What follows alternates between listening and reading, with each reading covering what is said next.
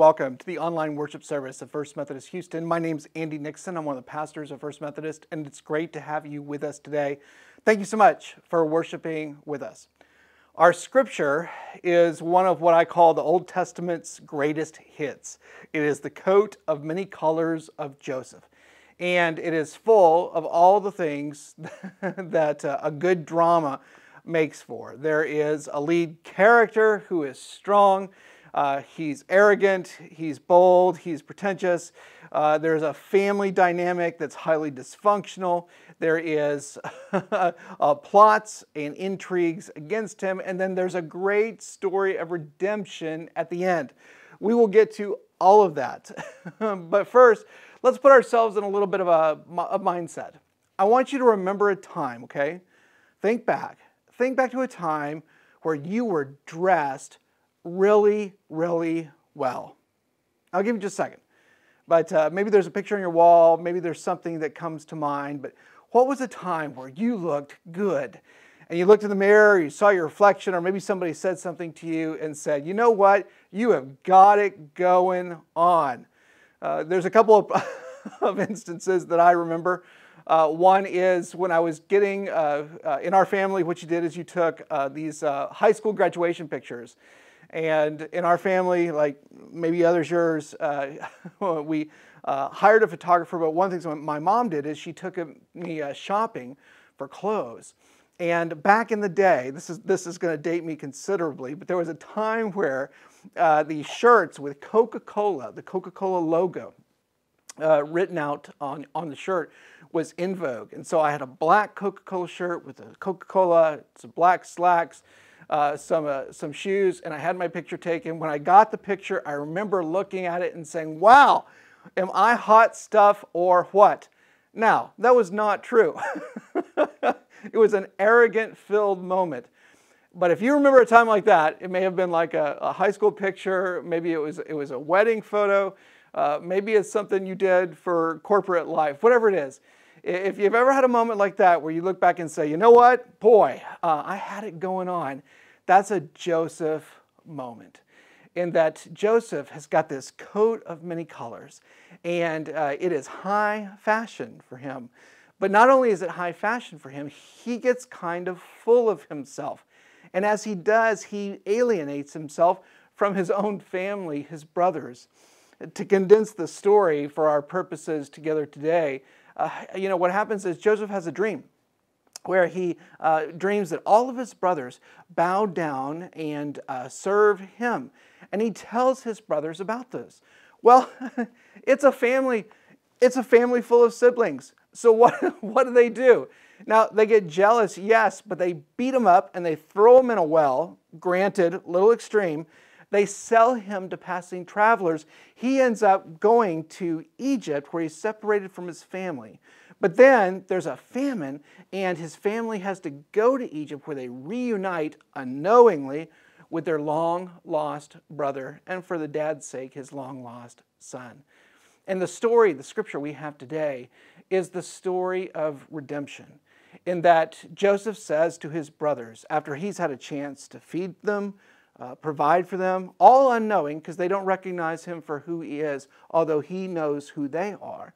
What he says is this what you intended for ill, what you intended for harm, God has used for good. And so he takes the story full circle. And even though his brothers did some horrible, horrible things to him, uh, threw him in a well, uh, beat him up, left him for dead, sold him to, in, into slavery, even though all these things happened, he gets to the end of the story where he's reunited with his brothers and he says, What you intended for ill, God has used for good. So, what happens though, uh, I think for our purposes today, is that Joseph makes a change. In his youth, in the early parts of the story, he is an arrogant human being. Uh, he is uh, full of himself as far as his chosen status. But over the course of time, he gets humbled and what he realizes is, even though he was right, okay, even though he knew uh, that God was showing him favor, he was blessed in an extraordinary way, even though that was true, he ends up using his blessing as humility so that he can reconcile, forgive his brothers, his family, and they can be reunited, which they are. What does that mean for us today? What does that mean for us as Christians, as followers of Jesus in this Lenten season?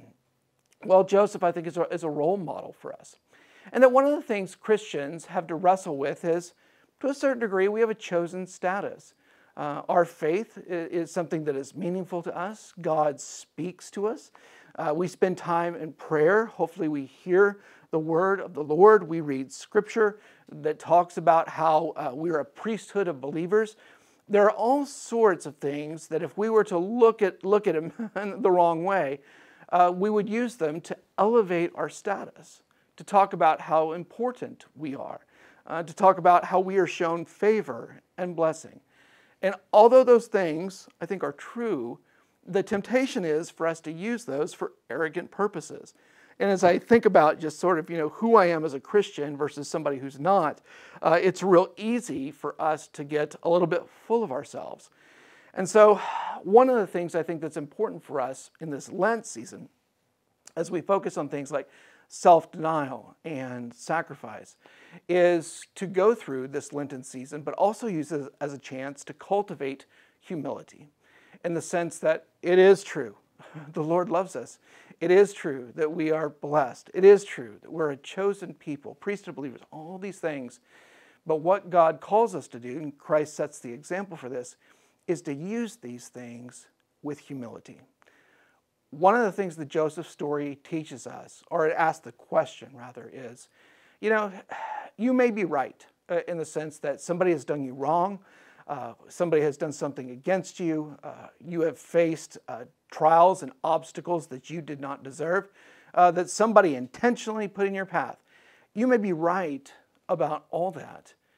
But if, if, if we become so full of ourselves, if we become arrogant about our own correctness, what that does is it distances us from other people, and I think to some degree from the Lord. It's a humble heart that, that God uses.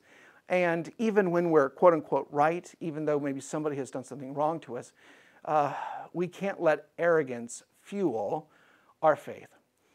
The greatest example of this, of course, is Jesus himself. I mean, just think about him for a second. Uh, he is the Son of God. He is the King of Kings. He is the Lord of Lords. He is the one who went through life and did not sin. If anyone had a license to be arrogant or full of themselves or pompous or to strut in front of others and say, Look who I am, a little bit like Joseph did, it's Jesus. But did he do those things? And the answer is, of course, no, he did not. He was somebody who was humble, he was sacrificial, and even when people did him wrong, he found a way for them to be loved by him.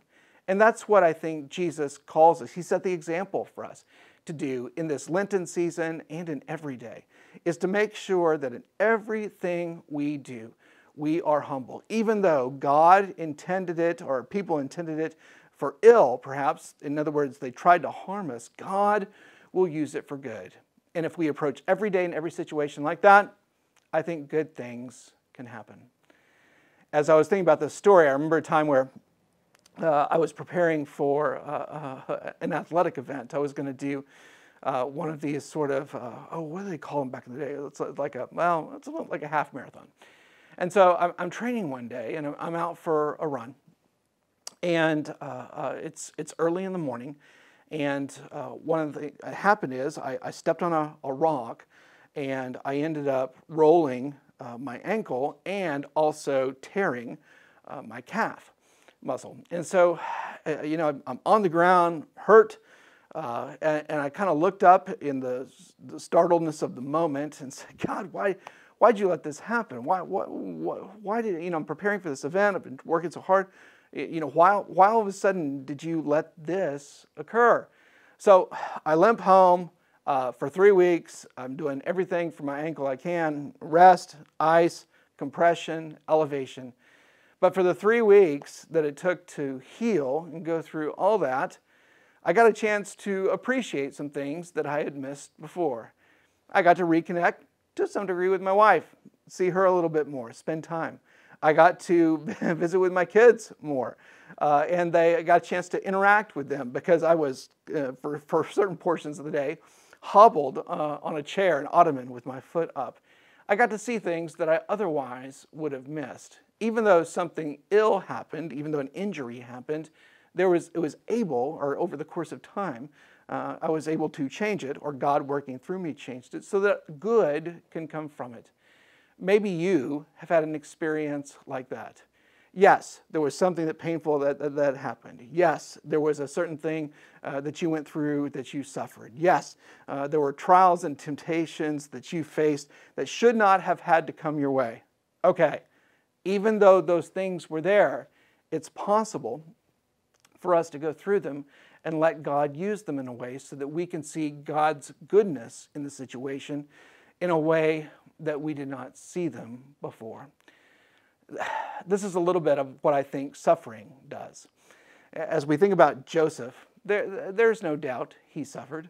I mean, being beat up by your brothers, being sold into slavery, being left for dead in a well, uh, being raised in a foreign country that is not your home, all sorts of other challenges from people, places, rulers uh, that came his way. There is no doubt that he suffered, but he endured through it.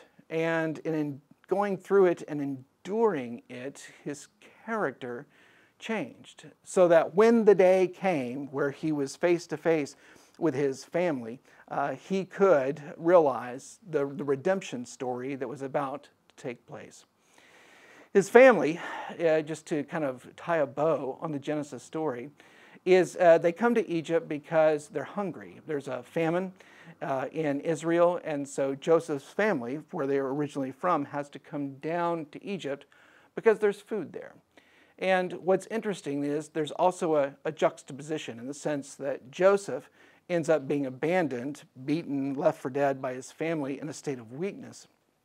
But at the end of the story, he's in a position of strength uh, because he is the one who has endured consistent trial. And uh, his family comes and they are needing food, which he, uh, because of his authority in the Egyptian government, has the ability to provide. And so the other side to this is that uh, one of the things I think we can learn from Scripture is that God brings us full circle. Uh, there may be a day where we feel incredibly weak, uh, vulnerable, uh, we may be hurt or lost.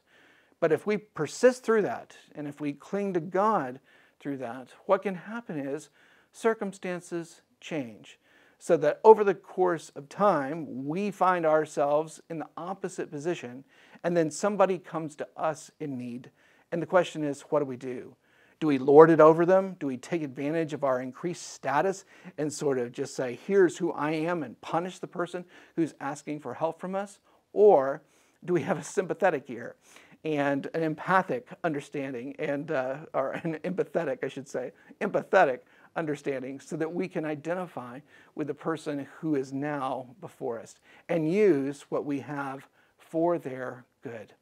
So you see, I think part of what this story teaches us in Lent is how to realize where we are. I don't know what's going on with you today. I, I don't know the circumstances you find yourself in. Uh, I don't know if, it, if, today is a day where you are feeling good and strong because of blessings and, and, and just amazing things uh, that have come your way, or if you're somebody who's a little bit down. Uh, I'm beaten up, I'm lost, uh, I, uh, I, I, feel like uh, God's distant from me. I don't know where you are. But the message of Joseph, and I think the message of Lent, is that if we endure and if we endure faithfully, our circumstances do indeed change. And one day, like Joseph, we will find ourselves in a position to help the person who is in need. On Ash Wednesday, I, have told a few stories in the last couple of weeks about Ash Wednesday because Ash Wednesday is a, a powerful day in our church. And we did, at First Methodist Houston, we did curbside dispensation of ashes, where all of a sudden people uh, come by, uh, they lower the windshield of the car, we dispense the ashes, we make uh, the cross on their forehead and say, uh, repent and believe uh, in, the in the gospel. Well, time and time again, uh, as we would do this on Ash Wednesday, people would look at me at the, at the end of that moment and say, just thank you so much for doing this. Thank you so much for being here. And uh, there was genuine gratitude in their faces and in the emotion of the time. However, uh, one of the things I learned from that is that's our place as the church. You know, we're in a place where we can provide, we're in a place where we can do, we're in a place where we could serve. And it's an honor to be able to be in that place, in that time, and to serve those who are in need. I think that's a little bit of how Joseph felt in his uh, coat of many colors and the whole saga with his family. At the end of the day, he was grateful uh, to be able to serve those in need who were or happened to be his family. You and I, I think, are called to be as followers of Christ, similarly minded, in the sense that uh, it's a privilege to serve. And there are people that we can help, there are things that we can do. And when we have the chance to do them, we should take advantage and realize that it's because of the grace and goodness of our Lord and Savior Jesus Christ we are in this position at all. What God intended, or what others intended uh, for suffering or ill, whatever may be, God has used for good. And the lesson we can take uh, from the scripture in this Lenten season is that God does this with all things. All things are, are used to serve the Lord for good. And to that promise, we can cling. Would you pray with me? Jesus, we thank you for this time together. We thank you for your word. We ask that we would use it to guide our understanding of who you are, who we are, and who you are calling us to be.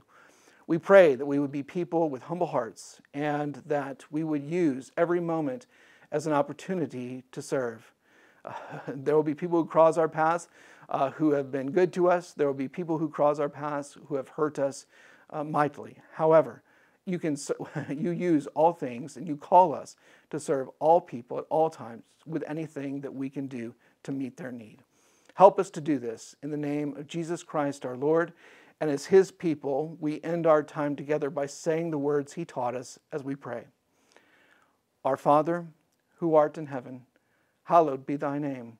Thy kingdom come, thy will be done, on earth as it is in heaven.